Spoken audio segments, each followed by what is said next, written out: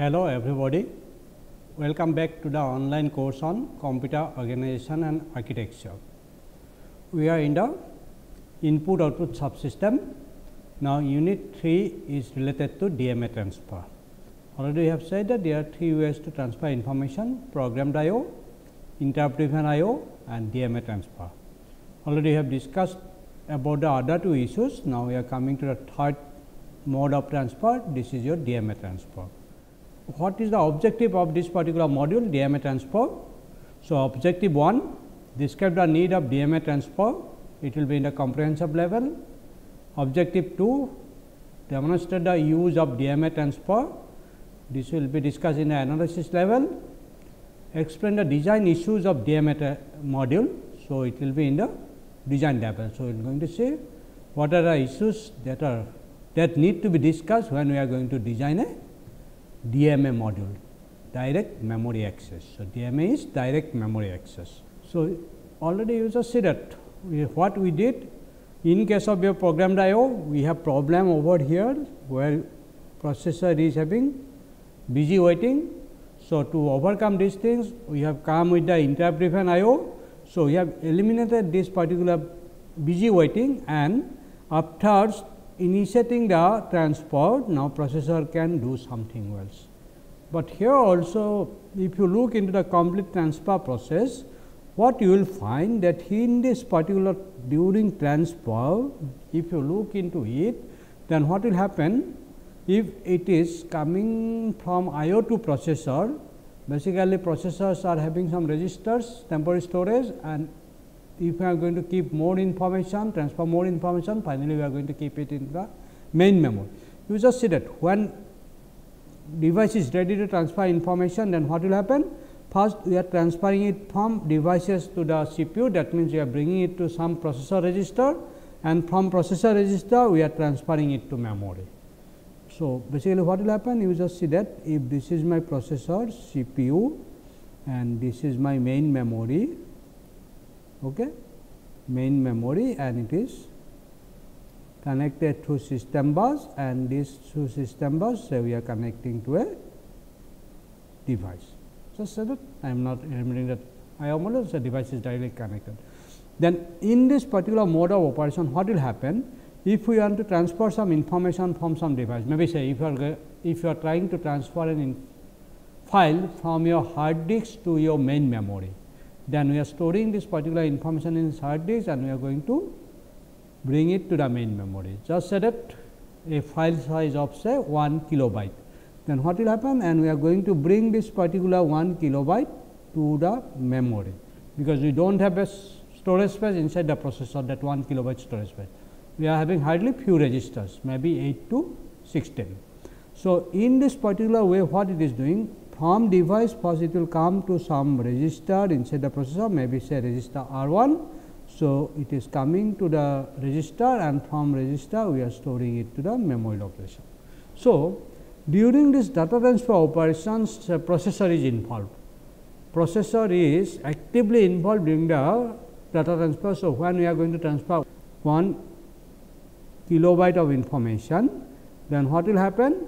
We are going to transfer it byte by byte and or maybe say if it is a 16 bit configuration maybe 2 byte at a time like that we are going to transfer it and for transferring the entire 1 kilobyte what will happen the processor is involved processor cannot do any other work because it is taking the information from device bringing it to the processor register from processor register we are transferring into the memory. So, processor is grossly involved in transferring the information.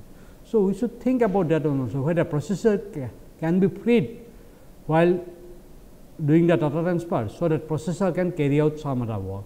So, for that the solution is your DMA direct memory access. So, in case of direct memory access what will happen? The data transfer will take place between device and memory. Involvement of processor will be eliminated. So, this is the basic crux about the DMA and why you are coming to DMA.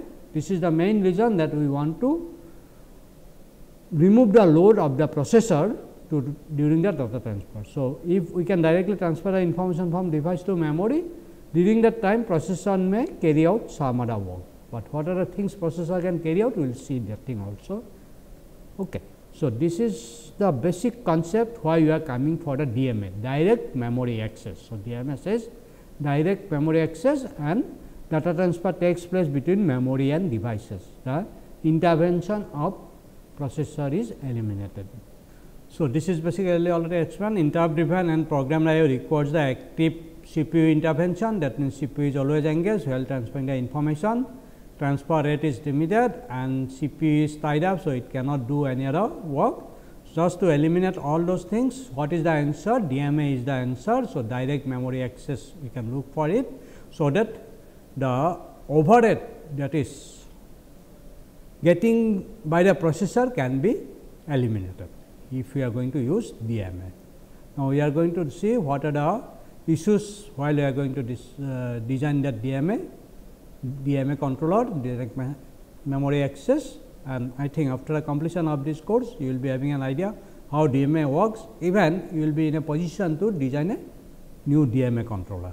So, for that what will happen? We are having an additional module in the hardware or we are connecting to the bus it is known as your DMA controller and when we are going to have transport then this DMA controller. So, you just see that we are having IO module that IO module can transfer information. So, DMA controller can also treat it as an IO module only. It is an input output module, but it is having a specific functionality. So, in that particular case what will happen? Now, DMA controller going to takes over the data transfer from CPU and it will carry out this. That means, it is having some processing tasks even. That means, you can think about that we are designing another processor, dedicated processor, which can carry out a specific task only. What specific task it can do? It can do the data transfer between device and processor. So, I think I at some point of time I have mentioned about ASIC application specific integrated circuit so, DMA may fall in this particular category, in this categories of ICs ASIC application specific integrated circuit and what is that application? The basic application that DMA is going to handle is your data transfer between IO devices and memory. And how why we require these things? Because first of all we have to bring the information to the memory and how processor work processor works on von Neumann stored program principle and processor is going to access the information from main memory which is the storage in that particular case.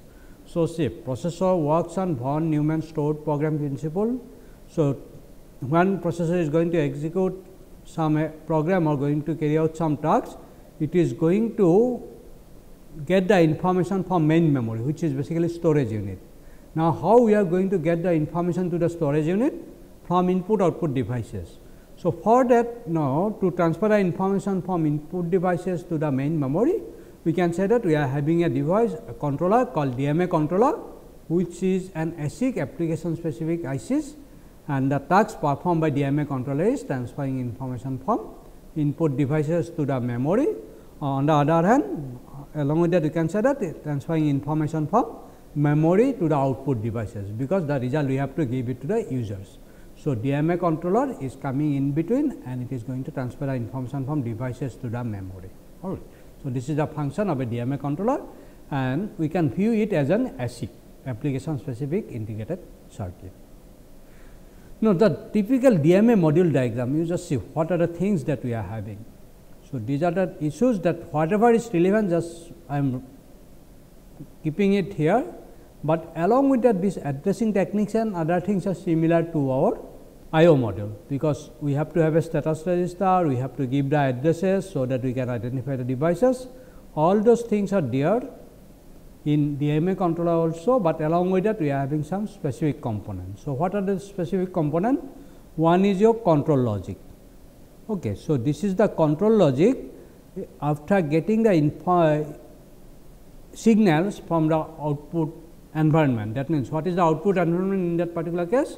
The output environment is a processor. It is going to get some indication, some signal from the processor. Along with that, it is going to get some information or signals from the devices connected to the DMA controller. Okay. So, in the DMA module those are the signals that it is going to get and depending on those particular signal this control logic we need to design this particular control logic to carry out the appropriate tasks and to carry out the complete operation of transferring the information from devices to the memory or from memory to the devices. So, this is the control logic we need to design. So, when we are going to design it, it will be a simple control logic after knowing the all the input signals, all the output signal and that way we know what is the things that it is going to perform depending on that we can design this particular control logic. So, it is a simple control logic. I think by this time you know how you are going to design the control unit. So, control unit is a part of my processor CPU because CPU is having some registers ALU and control unit. And in this particular subject in this particular course we have seen the design issues of this particular control unit to synchronize the operation of the processor. So, with respect to that control unit, this control logic is a very simple one. If you put your time, if you put slight mind what need to be done, you can design this particular control logic also. So, what are the inputs and output to this control logic? One signal is your read or write, you are saying two signals. So, if it is a read that means, you are going to take information from devices to the memory then it is a read information if we are going to put information from memory to the output devices, it is write. So, this signal will come from the processor. Okay. It will give indicate processor will say whether it is a read or it is a write. Along with that, we are going to get the other information also from which devices we are going to get it. We are not showing it over here. So, that information also it will be given and accordingly this DMA module is going to work with that particular device. Just so that I am just writing it as a some device is there. So, this device is also connected to the IO module. This portion we have not shown it over here. So, basically it is giving the addresses and status line of these particular devices. So, one is DMA module is getting the information that it is a read information and it is going to read from a particular device that after getting this information it will pass this things to the device and going to collect the appropriate thing and going to set it up. So, once it will set it up that this device is ready for the data transfer and other things, then what will happen that DMA controller or DMA module will give DMA request to the processor. So, processor is connected over here. Now, once it is giving that DMA request, then it will give DMA acknowledgement but when it will give DMA acknowledgement when the processor is ready to perform the DMA transfer. Now, what it is going to do say when it is coming that DMA device is ready and everything is set it will give the DMA request. In between now processor what processor is going to do it is at least we must know what is the volume of the data we are going to transfer. So, it will be in the we are having a data count register just set it for a simple example, I am saying that we are going to transfer say 1000 byte of information. Okay. So, this count will be set to 1000. Okay. So, so that we are going to transfer 1000 byte of information. This is the requirement. Along with that, now processor is going to say that it is going to read it. Now, after get bringing this information, where we are going to store it. So, I am having a memory, main memory say I am going to store this particular information from starting addresses 7000 onward. Okay. So, what will happen? That processor is going to make it ready that address register will be set to this particular 7000. Now, just see what does it means? We are going to transport 1000 bytes of information, say it is byte organized and uh, in memory also in we are going to store 1 byte of information and where we are going to store it after bringing it from the devices say from memory location 7000. So, this address register will be set to this 7000. So, this is the address line which is connected to the processor, this is the data line connected to the processor. So, through this data bus we are setting this data count to the 1000, through this data line we are setting it to the address register to 7000. Now, everything is set, now device is ready, it will going to give this DMA request. Once processor is ready, then processor will give the DMA acknowledgement. Now, what will happen in that particular case? When that DMA acknowledgement is coming over here, at that particular point, that DMA controller is going to take the control of the bus. Now, you just see what will happen say this is my processor CPU, this is the memory. Okay. This is connected to the system bus and say just I am showing DMA controller is connected to it. Okay. Now, say processor is initiating it, it is saying that after setting this data count and your starting address, now processor is initiating that it wants to perform a read operation. Okay.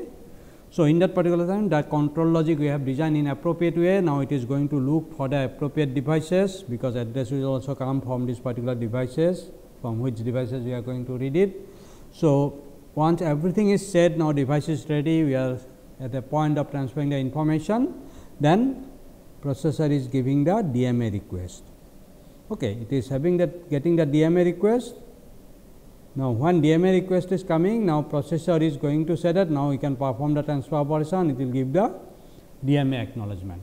Then, when DMA acknowledgement is coming for the DMA, at that particular time, this control of the bus will be given to the DMA. That means, now processor is slightly delinked. Through control signal, we are setting it and at that particular point now we are having this particular connection. Now, processor is slightly delinked. Now, processor is not going to use the system bus, system bus will be used by the DMA controller. Now, what it will do? Now, it will take the information from device to the data register. So, this is the DMA module from data register it will going to store into the memory location. Okay. Once one byte of information is transferred that means you are getting the information from device. Through data register it is going to the memory location then what will happen? Then data count will be decremented. That means it will become say 999 that means already you have transfer 1 we need to transfer 999 bytes. And this address register will be incremented and it will say that 7001 that means first byte we have stored in that register uh, memory location 7000 next byte we need to store in 7001. So, like that data count will be decremented after every transfer and address register will be incremented just to point to the next memory location. So, when we transfer the 1000 memory byte that means, when this value will come to 0 that means, we have transfer all the 1000 byte of information. So, after completion of the transfer, now this particular DMA controller will issue this particular interrupt signal to the processor. So, this interrupt signal will say that now transfer is over, it is completed. Now, what it is going to do? Once it get this particular signal, then processor is going to take the control of the system bus. That means, now system bus will be connected to this particular processor and now this is the link. Now, DMA is not directly connected to the system bus. So, this is the way that DMA is going to transfer information from devices to the memory. So, what is the basic principle over here? Basically, DMA is going to take control of the system bus and in system bus basically it is going to look for the address bus and data bus and DMA is carry out the transfer one it completes the operation, it will give an indication to the processor, then processor is going to take back the system bus. That means, now DMA controller is no longer connected to the DMA bus that now processor can work with the main memory through this particular system bus. So, this is the way we are transferring information from devices to the memory through DMA controller and similarly from memory to the devices also we can transfer by following the same principle except that here we are having this particular write signal and uh, data will be transferred from memory to the devices through this particular data register. So, these are the basic components that we have in a DMA module or DMA controller and it works with the help of those control signals. Okay, this is the way that DMA controller works. So, basically now we know how DMA controller is going to work, how it transfer the information without intervening the processor operation. That means, processor is not involved at a not involved in this particular data transfer. So, basically now what are the DMA operations just see in that particular case CPU tells the DMA controller whether it is read or write. Okay. This is the information that processor will give. It will give that device addresses also from which device it is going to take the information starting address of the memory block of data.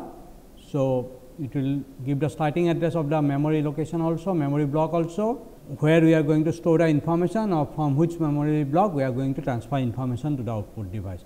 Along with that it will give the amount of data to be transferred. Okay, so, these are the things that I am saying it is going to give the data count, it is going to give the starting address where which memory blocks that we are going to use.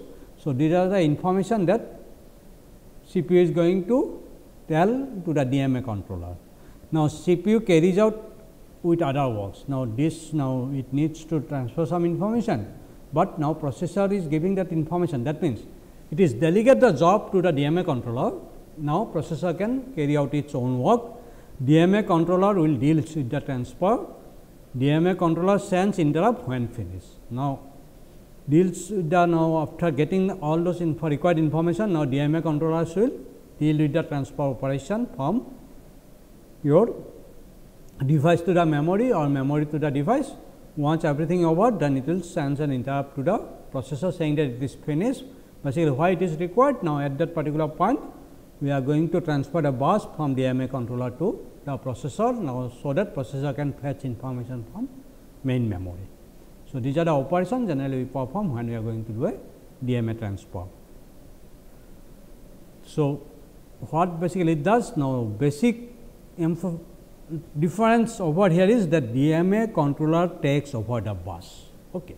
So, now system bus basically data bus and address bus is used to connect the memory and along with that IO devices also.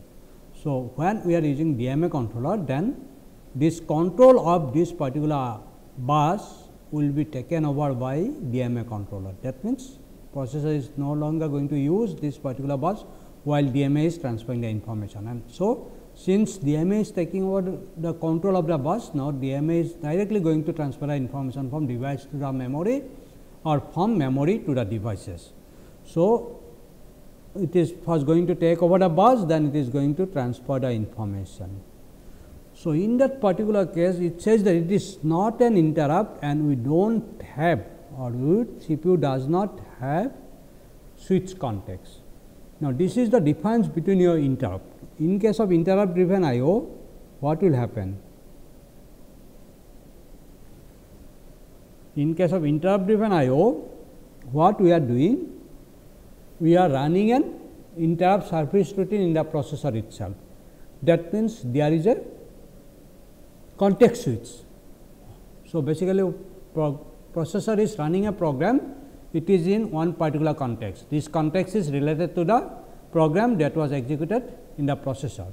But when interrupt comes, when we are going to give service to the interrupted devices, that means we have to run the appropriate interrupt service routine. So, there is a change of context in the processor. It is running one program, but it now processor is going to run another program in case of interrupt driven IO. So, for that we have to retain the processor status and how we are doing it? We are just transferring the status of the processor to the system stack and processor is now going to execute the interrupt service routine. So, there is a change of context from the program being executed in the processor is now suspended. We are storing the context or the relevant information in the system stack and now processor is going to execute the another program which is in the service routine. Once the transfer is over, then processor is going to restore its initial state. That means, again it is coming to the same context. So, this is a context sense. Okay. So, it is going to change its context from one program to the other program. But in case of DMA transfer, there is no context change.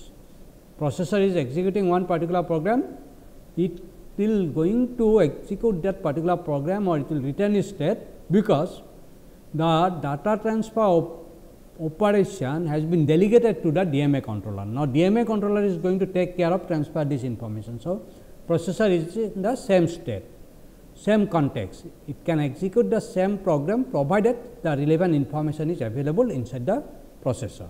So, this is the difference you must remember it. So, in case of interrupt driven I O there is a change of context, in case of DMA transfer there is no context change. The context of the processor remains same whatever program it is executing it is still going to execute that particular program. So, how we are going to do it? So, CPU suspended just before it access the bus.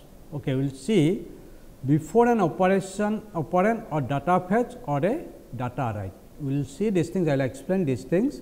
What says that? I am saying that there is no context sense. Okay. So, now I can again draw this thing say this is the processor, this is the main memory and this is a DMA controller. Now, the system bus is given to the DMA controller. Now, processor cannot access the main memory. Okay, this is the situation. There is no sense of context. That means, processor can carry out its own work. Now, what it says then? Now, CPU suspended just before it access the bus. Now, we are having some information inside the processor. Now, processor is going to carry out this particular information carry out those particular tasks, uh, it is going to execute some instruction. But at some point of time now processor needs some information from memory, but bus is now with this particular DMA controller, processor cannot access this particular. So, processor cannot fetch this particular data. Since processor cannot fetch this particular data, so processor is going to suspend at that particular point. So, processor is going to wait and still till it is going to get the control of this particular bus. So, CPU will be suspended at some point of time. It is not like that processor is going to carry out some work while DMA transfer is going on. Of course, if we are having some relevant information now more in most of the processor we are having a buffer space in that buffer space again two type of buffers we are having we are having an instruction buffer and we are having a data buffer.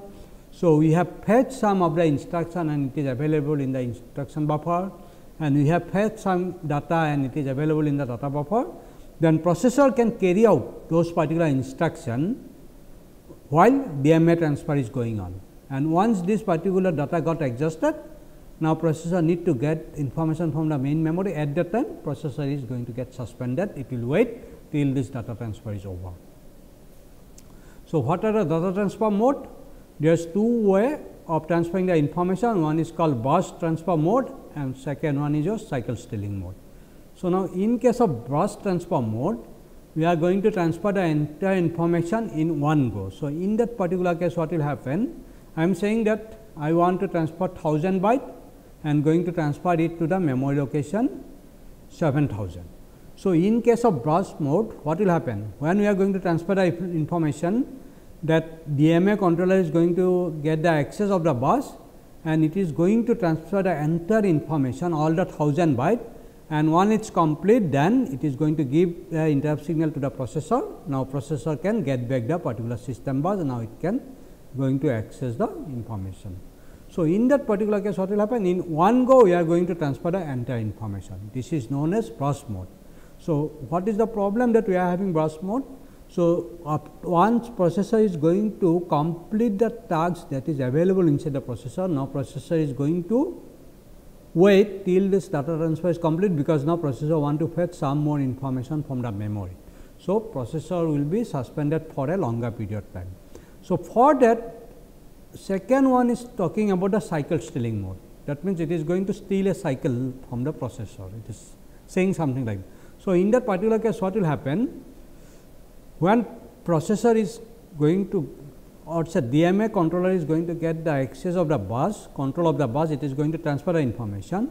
After transferring each byte of information, say it is a byte transfer, so each unit of transfer, it is temporarily the bus will be given to the processor to do some transfer if some if processor is suspended or waiting to get some information from the memory. So, in that particular way in cycle stealing mode intermittently the bus access will be given to your processor so to transfer some information and after that again control will come to the DMA controller. So, that means the access of the bus will be flipped between your processor and DMA controller during the entire period of transfer. So, in burst mode in one go we are going to transfer everything then control of the bus will be given to the processor, but in case of cycle stealing after every transfer intermittently that control of the bus may be given to the processor to transfer some of the information. If nothing is pending then again bus will come to the DMA controller.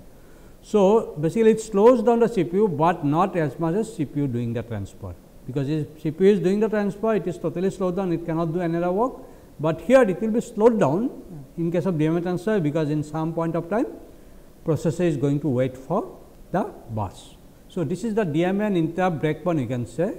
So, what is the interrupt breakpoint basically when this breakpoint basically what we are saying that when the processor is going to suspend its current program execution. So, if interrupt is coming so currently it is executing one particular instruction then what will happen it is going to complete this instruction and at that time after completion of the instruction it will check whether any interrupt is pending or not then if interrupt is pending then it is going to process this particular interrupt. So, this is the interrupt process cycle. So, this is the only breakpoint it will execute the complete instruction and then it will check for the interrupt. But in case of that means this breakpoint basically what I am saying this is a suspension or suspending the execution of the current program.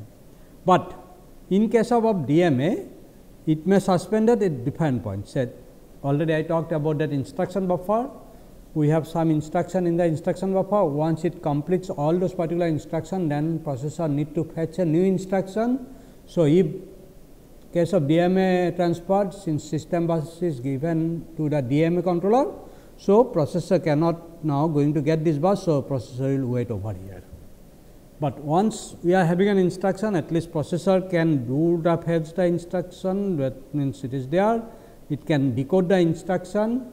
After decoding the instruction if we have to fetch some more operand again now processor will be suspended processor will wait at that particular point because now bus is with DMA controller. So, again say data is with me operand is with me then it can execute the instruction. After execution of instruction say if we want to store the result then again processor will suspend it over here wait over here.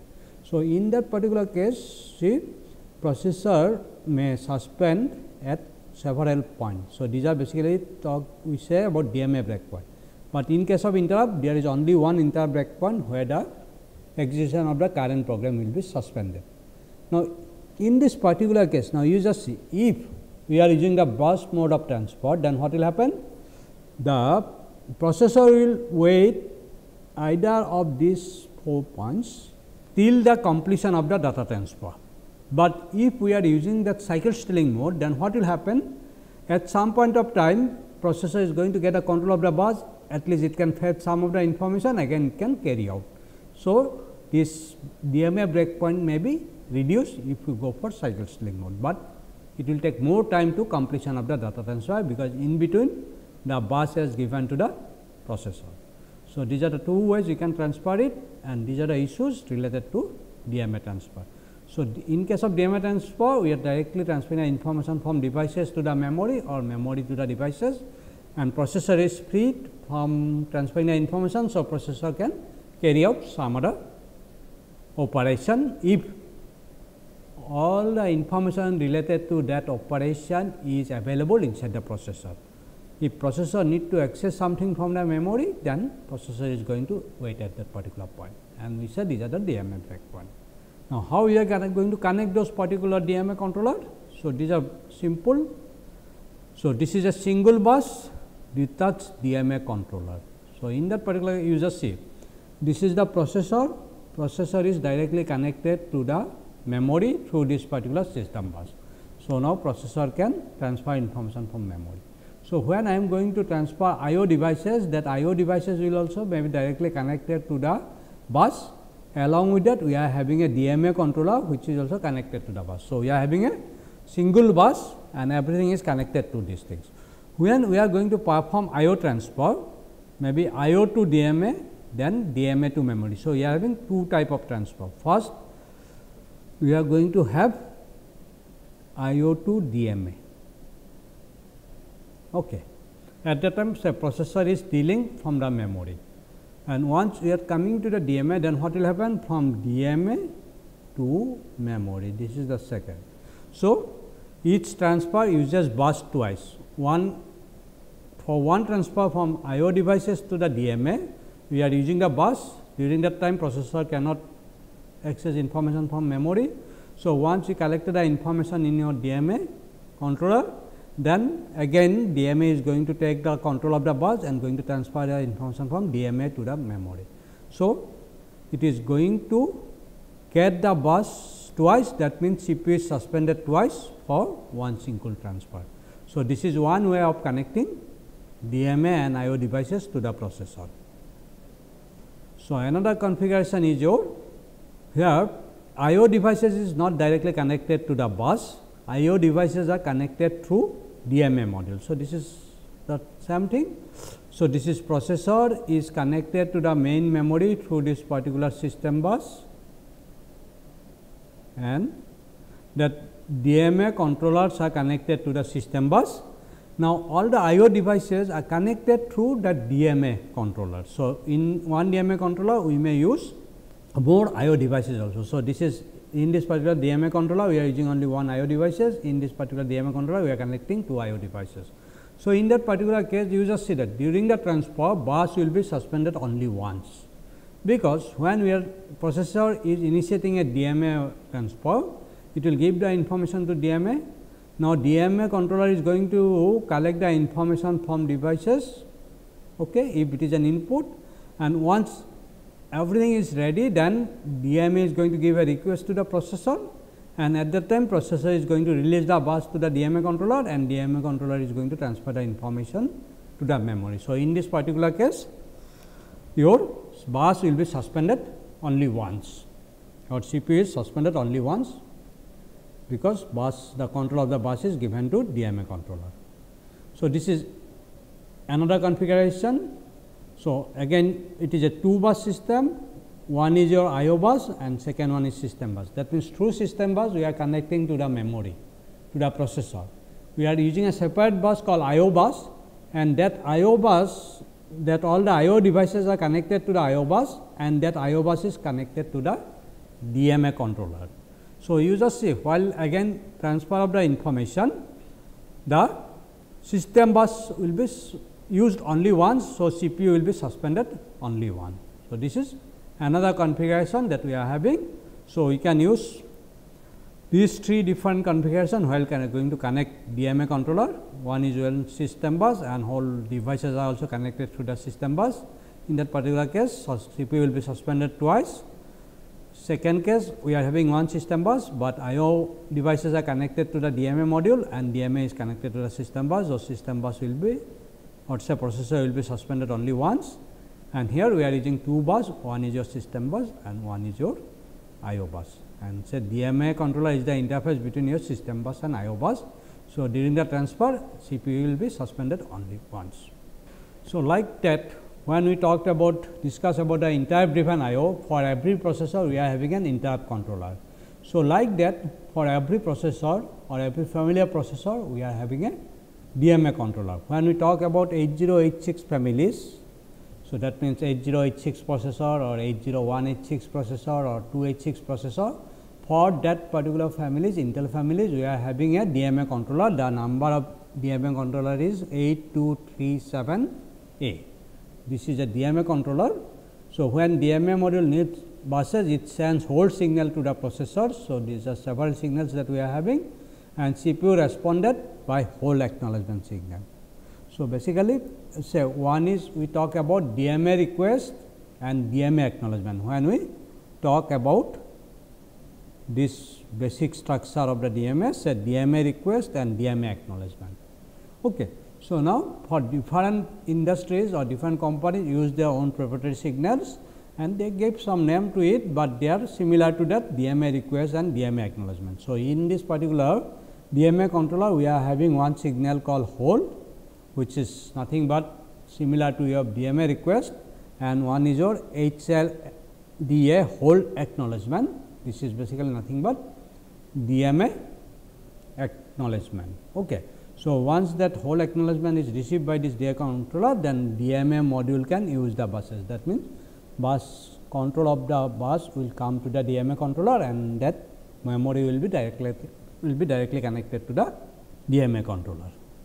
So, how it works? So, for example, data transfer from memory to disk, disk means here we are talking about a hard disk because you know that in your machines you are having a hard disk of capacity say 500 GB or like that.